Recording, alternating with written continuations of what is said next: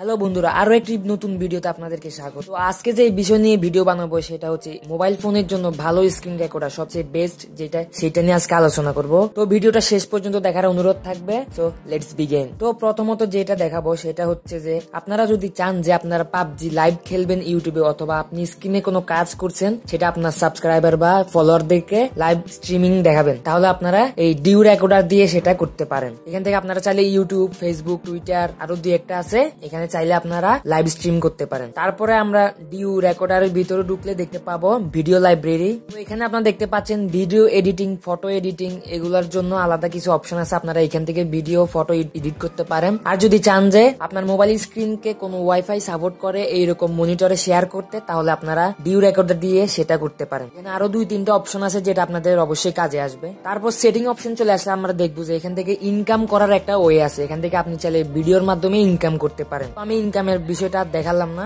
আসল কাজে যাই। আপনারা দেখে থাকবেন যে ভিডিও স্ক্রিন রেকর্ডার যেটা করেন সবগুলাতে দেখবেন যে আপনারা ওয়াটারমার্ক থাকে। তো এটাতে আপনারা চাইলে ওয়াটারমার্ক ব্যবহার করতে পারেন, আবার চাইলে সেটাকে রিমুভও করতে পারেন। তো ওয়াটারমার্ক রিমুভ করার জন্য আমাদেরকে এই ওয়াটারমার্ক অপশন থেকে এটাকে ডিজেবল করে দিতে হবে। তারপর আপনারা চাইলে এখান থেকে ভিডিও রেজুলেশন বিটরেট এপিএস এগুলো চেঞ্জ করতে পারেন। তারপর আমরা চলে আসব উইন্ডোতে এখান থেকে ব্রাস্ট অপশনটা অন করে দিলে আপনারা যদি চান যে আপনাদের ভিউয়ার বা ফলোয়ার দেখে কোনো কিছু দেখাবেন যে মার্ক করে দেখাবেন। তাহলে আপনারা চাইলে এখান থেকে এভাবে মার্ক করে দেখাতে পারেন। তারপর স্ক্রিনশুট অপশন থেকে আপনারা চাইলে স্ক্রিনশুট নিতে পারেন। আরেকটি ফিচার হচ্ছে যে ক্যামেরা এই ক্যামেরা অপশনটা অন করলে আপনারা চাইলে আপনাদের স্ক্রিন রেকর্ডার যখন স্ক্রিন রেকর্ড করবেন, তখন ওইখান থেকে ক্যামেরার মাধ্যমে কোনো কিছু দেখাতে পারবেন। সো এই ভিডিওর জন্য একটা লাইক তো অবশ্যই পাবো। আর চ্যানেলটা অবশ্যই সাবস্ক্রাইব করবেন।